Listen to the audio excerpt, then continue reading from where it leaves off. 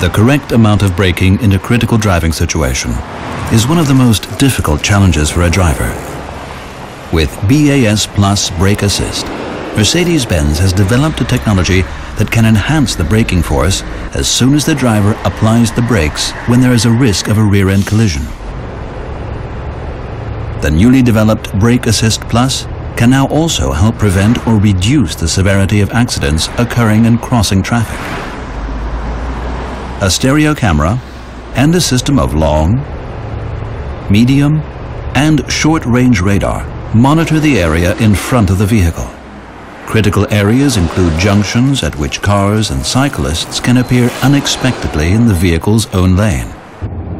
The data from the stereo camera and the radar system are thus processed in a control unit in order to check whether the crossing traffic poses a risk of collision.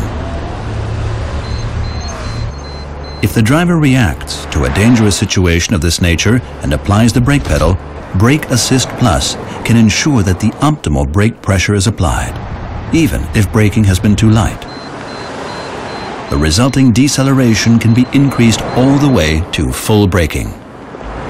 With the assistance of BAS Plus, accidents involving crossing traffic can be prevented or their severity significantly reduced.